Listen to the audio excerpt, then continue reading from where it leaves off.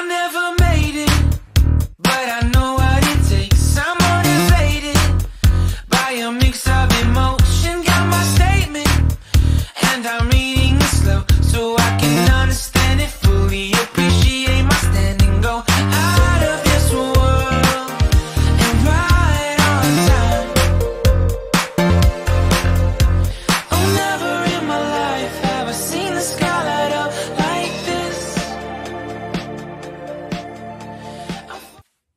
Hey guys, and welcome to this week's vlog.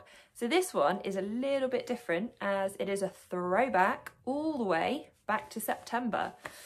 So way back in September, we went cross-country schooling to Lyneham. I was supposed to be taking sausage, but she came in in the morning with really swollen um, glands, like in her grass glands around her neck, like her guttural pouches. So um, any kind of riding was out of the question. She ended up having to have a couple of weeks off, and I had to withdraw from my last two events of the season, which was a bit rubbish. But on that day, obviously, she couldn't come cross country schooling. Um, but Carl was supposed to be taking Max, and being the lovely, wonderful fiance that he is, he volunteered to just come and drive the lorry and come on the ground and let me ride Max and have some fun instead. So I had a wicked time. Uh, Max is just a dude. I love him. So you're probably wondering why I'm only sharing this vlog now if it was in September. Thing is, um, I took the GoPro and put it on my hat and got some really cool footage. Um, so you can come behind the ears with me, but it basically got stuck on my old laptop, which was just pants, and I could not get the footage from my laptop to uh, go with the footage that I had on my phone and get it all synced up and edited together. So I didn't really do anything with it.